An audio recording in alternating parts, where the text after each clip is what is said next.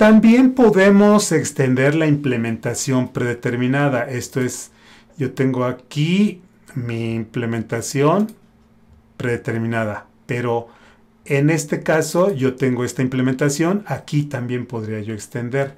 En caso de que para algunos empleados el bono económico se calcule con una fórmula distinta a la fórmula general predeterminada, Podemos modificar la interfase y employee moviendo la implementación predeterminada a un método estático protegido para que cualquier clase que implemente esta interfase pueda reutilizar el código en su implementación. La implementación predeterminada del miembro de la interfase puede también invocar este método. Veamos entonces, voy a tomar este voy a tomar, vamos a, trabajar aquí con nuestro eEmployee y vamos a hacerle algunos otros cambios. Esto es, quiero que darle la posibilidad de que puedan utilizar la fórmula general o que puedan ellos tener su propia fórmula, ¿correcto? Entonces lo que voy a hacer aquí va a ser lo siguiente. Vamos a ver, voy a declarar otro miembro public decimal compute bonus. ¿Sí? Y lo único que va a hacer es invocar a la implementación predeterminada. Esto es a la default compute bonus this. Aquí estoy definiendo esto. ¿Quién va a ser mi, default compute? Pues la que ya tenemos nosotros. Entonces tenemos aquí, este, esta la puedo inclusive declarar como protected.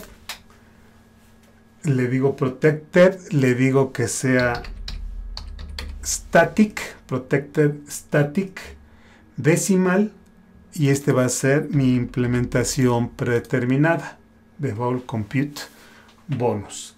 Aquí calculo el bonus aquí le digo el inicio aquí este eh, tengo en lugar de de, de, este mismo miembro de acá arriba voy a tomar el que me estén enviando. Entonces aquí voy a recibir un employee. Supone le voy a llamar E. ¿Correcto? Entonces de esta manera ya estoy tomando del dato que me están proporcionando. Y con esto nosotros podemos este, realizar la implementación predeterminada.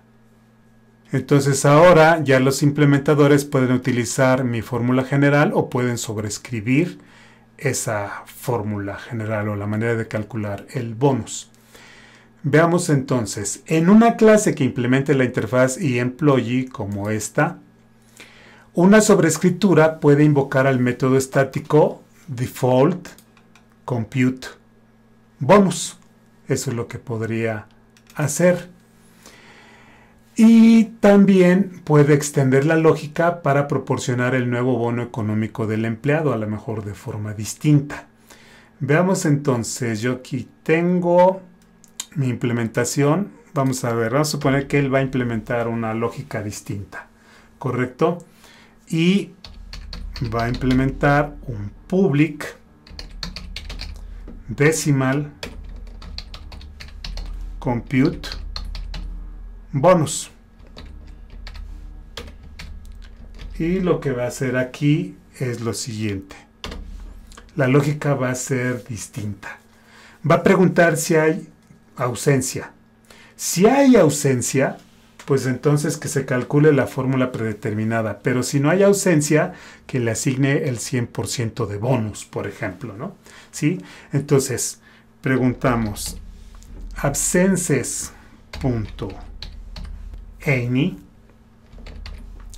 ¿hay alguna, algún tipo de, de ausencia? Entonces, vamos a ver aquí importar el espacio de nombres. Si hay algún tipo de ausencia, entonces devuelve la implementación predeterminada. Esto es el default compute bonus.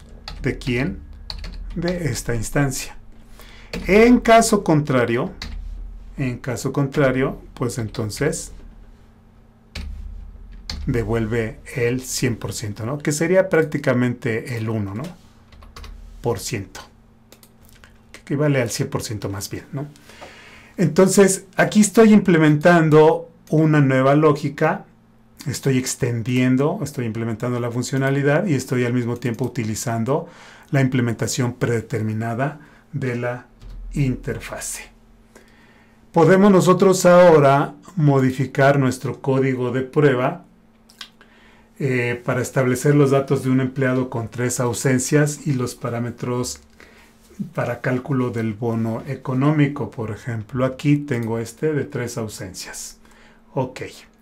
Luego aquí le digo que establezca el parámetro 365, 00, 3 y el 80, ¿no? Es lo que teníamos. Ahora le digo aquí la instancia del empleado y vamos a ver qué sucede. podemos notar que el porcentaje del bono es cero, ¿correcto? No se le está aplicando el 100. Se ha aplicado la fórmula general del cálculo del bono tomando en cuenta los parámetros especificados. Veamos, voy a detener y vamos a suponer que ahora este empleado solo tiene dos ausencias. y vemos que se le aplicó el 80. Voy a detener. Voy ahora a decirle que no tiene ausencias. Podemos ver entonces que se ha aplicado la regla esta que implementamos. ¿Sí? le está asignando el 1. Eso es lo que está sucediendo.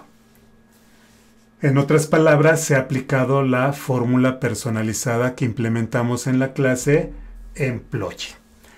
Estas nuevas características hacen que las interfaces puedan ser actualizadas de forma segura cuando haya una implementación predeterminada razonable para nuevos miembros. Es importante diseñar cuidadosamente las interfaces para que expresen ideas de funcionalidad simple que puedan ser implementadas por múltiples clases. Esto facilita la actualización de la definición de las interfaces cuando nuevos requerimientos sean descubiertos para la misma idea de funcionalidad.